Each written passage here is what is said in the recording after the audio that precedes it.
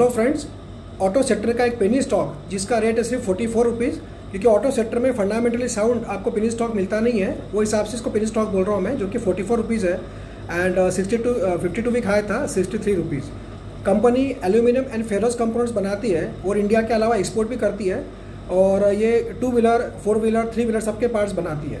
दोस्तों, ये alloy wheels भी बनाती है, जो टायर के ऊपर अंदर जो व्हील्स होता है, वो भी बनाती है और वो जिनफाई करके जो कंपनी है, उनसे इनका टाइप है। और ये बड़ी बड़ी कंपनियों को सप्लाई करती है अलॉय व्हील्स लाइक जैसे होंडा यामाहा सुजुकी पियाजो तो ये सब कंपनियाँ जो वर्ल्ड विनाउंड कंपनियाँ हैं, उनको एक्सपोर्ट करने का काम करती है। उसके अलावा इसके इंडिया में होंडा टू व्हीलर भी इनका कस्टमर है बजाज है, और हीरो हीरो मोटर्स ये सब इनके कस्टमर्स हैं।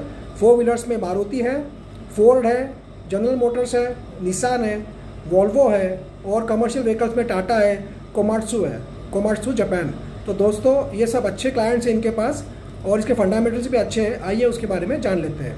इसका फ्राइडे का क्लोजिंग जैसे कि मैंने बताया, वो था forty four rupees fifty two भी खाया था सिक्सटी थ्री रुपीज़ पी है ट्वेंटी थ्री का, जो कि अच्छा है। ई पी एस है वन पॉइंट सिक्सटी का, जो उसके रेट के हिसाब से काफ़ी अच्छा है बिकॉज़ जनरली ऑटोमोबाइल सेक्टर के जितने भी कंपनियाँ उनका ओवर वैल्यूएशन है, इतना ई पी एस पे रेट में मिलती नहीं है। डेट टिकट रेशियो है ज़ीरो पॉइंट नाइन्टी जो कि अच्छा है, एक से कम है। प्रोमोटर होल्डिंग है फिफ्टी वन परसेंट जो कि काफ़ी कन्विंसिंग है। एफ़ आई आई का होल्डिंग है ज़ीरो पॉइंट थर्टी परसेंट और एफ़ आई आई ने इसी क्वार्टर में इसमें एंट्री मारी है, जो कि पॉजिटिव बात है। डी आई का होल्डिंग है one point eighty seven percent D ने भी इसमें, इस क्वार्टर में स्टेक बढ़ाया है zero point forty four percent से तो वो भी एक पॉजिटिव बात निकल कर आती है।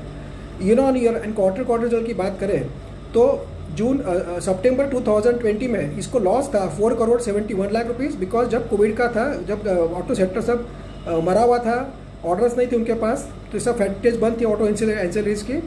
उसके अलावा सितंबर 2000 सॉरी जून 2021 में लॉस था वन करोड़ 15 लाख रुपीज़ क्योंकि अभी भी काफ़ी पाइलअप था स्टॉक का।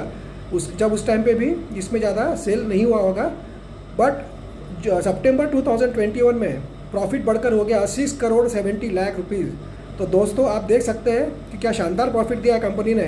वो जैसे ये कंपनी, अगर आप देखेंगे कि कोविड के क्वार्टर छोड़ दे तो इसका profit three crore to ten crore के बीच में होता है। तो इसलिए कंपनी साउंड है। अभी दिसंबर क्वार्टर भी अच्छा आने की उम्मीद है, क्योंकि अभी के लॉकडाउन लगा नहीं था पूरे इंडिया में। तो उसके कारण इसमें अच्छा प्रॉफिट आने का उम्मीद है दिसंबर क्वार्टर भी। तो कंपनी का नाम है Rico auto India limited R I C O R I C O Rico India Rico auto India limited ये कंपनी लॉन्ग टर्म के लिए भी अच्छी हो सकती है। दिसंबर क्वार्टर अच्छा है।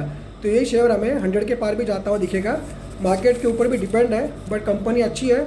जो लोग ऑटो सेक्टर के एंसिलरीज के कंपनियाँ अपने स्टॉक में रखना चाहते हैं फंडामेंटली साउंड तो उसमें से ये कंपनी हो सकती है। इसको आप स्टडी करके भी डिसीज़न ले सकते हैं। Thank you